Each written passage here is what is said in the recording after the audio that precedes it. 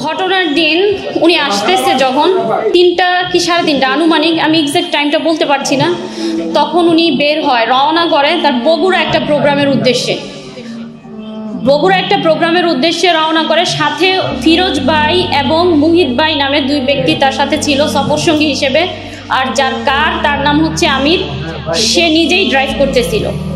এই চারজন বগুড়ার প্রোগ্রামের উদ্দেশ্যে রওনা করে। উদ্দেশ্য ছিল প্রোগ্রাম শেষ করে ঢাকা ফিরবে। ঢাকা আমার কাছে উনি আসবেন। কিন্তু চারটার দিকেই আমি টাইম এক্স্যাক্টলি আপনাদের বলতে পারব, যদি ফোনটা চেক করি। চারটা কি তার কিছু পরেই উনি আমাকে কল করে বলতেছে, আমি আর কি তাকে কল করে আস্ক করতে চেয়েছি যে কি খাবা? কি রান্না করব আর কি? সেজন্য উনি খুবই ফেড আপ হয়, খুব রেগে যায় আমার উপরে। যে কীভাবে আছি, কেমন আছি, এই প্রশ্নটা না করে কীভাবে কি খাব, এই প্রশ্ন করতেছো। তখন সে বলতেছে যে, আমি আমার পেছনে দুইটা বাইক আমাকে ফলো করতেছে। আমার মনে হচ্ছে যে, আমাকে দুইটা বাইক ফলো করতেছে। তখন আমাকে বলল, জাস্ট আমার জন্য দোয়া করো, আমি যেন নিরাপদে বাসে পৌঁছতে পারি। তখন আমি তো, আমি ওনার মানে উনি খুব রেগে যাওয়ার কারণে আমি আর কোনো প্রশ্ন করিনি, আমি রেখে দিলাম। দেন কিছুক্ষণ পরে উনি নিজেই আমাকে আবার কল করে বলছে যে, ঠিক আছে, রান্না করো, আমরা চারজন আসতেছি।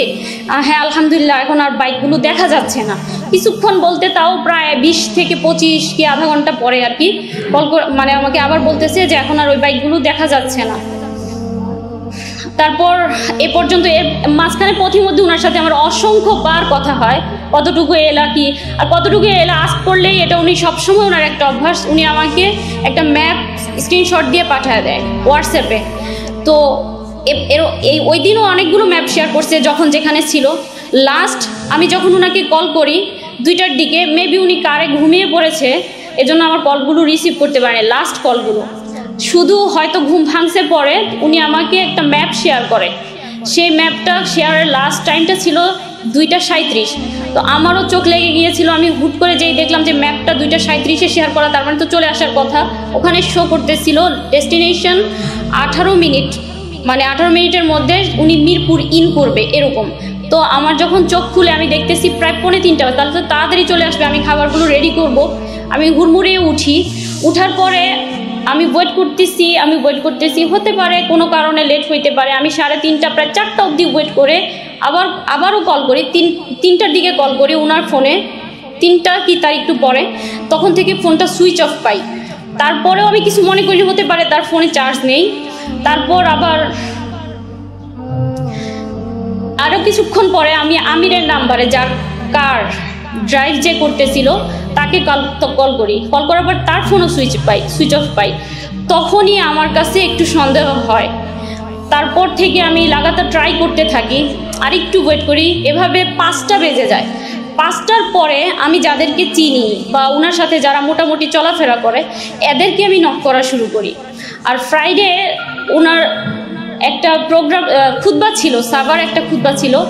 সেই খুতবায় উনি অ্যাটেন্ড করল কি না আমি প্রায় ছয়টার অব- অবধি এক, একে তাকে অনেককে কল করার পরে আমি ছয়টার পরে ওখানেও কল করি যে ওখানে চলে গেল কি না কোনো কারণে। তারাও বলল যে না, এখানে আসেনি। এই ছিল ঘটনা। দেন তারপরে আমি দারুসালাম থানায় উদ্দেশ্যে রওনা হয়ে যাই। কারণ আমি যে দেখেছি ওখানে গাবতলি শো করতেছিল সেজন্য। আমি দারুসালাম থানায় যাওয়ার পরে তারা আমাকে বলে যে, আপনার সব ডিটেলসগুলো নিল, আদনান সাহেবের সব নাম্বার সব কিছু নিল। নেয়ার পরে বলতেছে যে আমরা লোকেশন জেনে দেন আমরা একটা আপনাকে জানাব কিছু একটা। তারপর আমি জানতে চাইলাম অ্যাটলিস্ট উনি কোথায় আছে? এটা এই ইনফরমেশনটা আমি কোথায় পাবো? তখন তারা আমাকে বলল যে আপনি এক কাজ করেন ডিবির ওখানে যান র্যাবের কার্যালয়ে যোগাযোগ করেন তাদের থেকে তাদের পর্যন্ত গিয়ে আপনি আহ, জানার ট্রাই করেন যে আসলে উনি কোথায় আছেন। আমি গেলাম। পরের দিন দারুসালাম থানায় আমার সারা দিন লোক বসেছিল একেবারে রাত অবধি।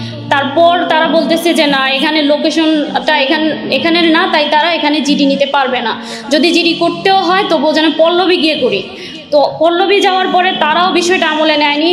একই কাহিনী করল যে আমি লোকেশন দেখব দেন আমরা জানাব। সেম আমি ওভাবে বসে থেকে চলে আসি।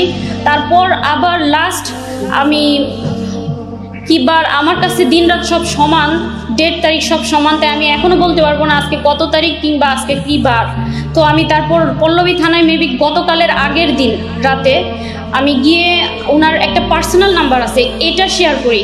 যে স্যার, আমার একটা ভুল হয়ে গেছে পাবলিকটা দিয়েছিলাম পার্সোনালটার কথা আমি ভুলে গিয়েছিলাম। এই পার্সোনালটা দেওয়ার পর ওইটা থেকে তারা জানা, বলল ওইটা দেখে ওইটার লোকেশনের কথা বলেনি তাৎক্ষণিকই ততদিনে হয়তো মিডিয়ায় বিষয়টা চলে আসছে গত পরশু রাতে। তাৎক্ষণিক তারা একটা অভিযোগ নেয়। এরই মধ্যে রংপুর কোতোয়ালি থানায় ওনার মায়ের পক্ষ থেকে একটা জিডি নেয়। সেই জিডির মাধ্যমে জিডির নাম্বার দিয়েই একটা অভিযোগ গ্রহণ করে পল্লবী থানায়। আর আমি তো আমার চেষ্টা অব্যাহত রেখেছি। এরই মাঝে আমি প্রধানমন্ত্রী কার্যালয়ে দুইবার গিয়েছি। ওখানে লেটার দিয়েছি। ডিবি কার্যালয়ে তো আমি অনেক ট্রাই করেছি। আমাকে তো কোনোভাবে অ্যাক্সেসই দেয়নি। আর আমি তো জানিও না সবচেয়ে বড় কথা কোন বইতে যেতে হবে, কীভাবে কি করতে হবে। কারণ আমি তো এই অঙ্গনের মানুষই না।